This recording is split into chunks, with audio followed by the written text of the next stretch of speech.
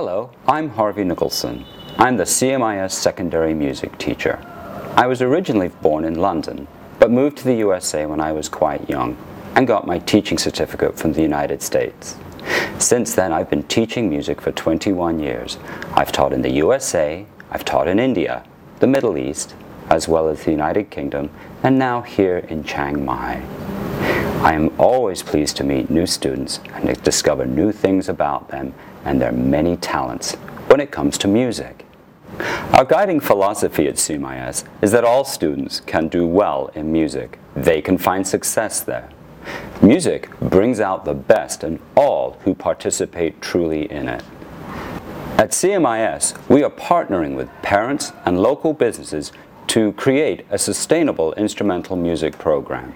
We have five performing ensembles. Seventh grade band is the beginning band.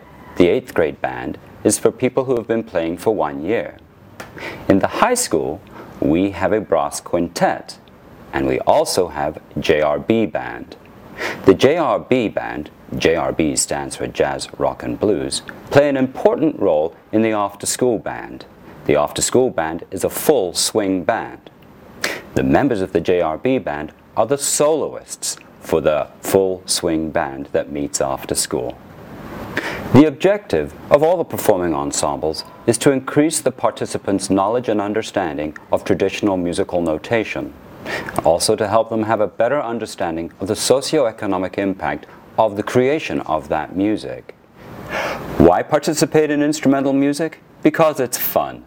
Music study helps make the connection between hard work and accomplishment by teaching teamwork, self-discipline, problem solving, memory skills, poise, and concentration, as well as providing daily opportunities for self-expression and creativity.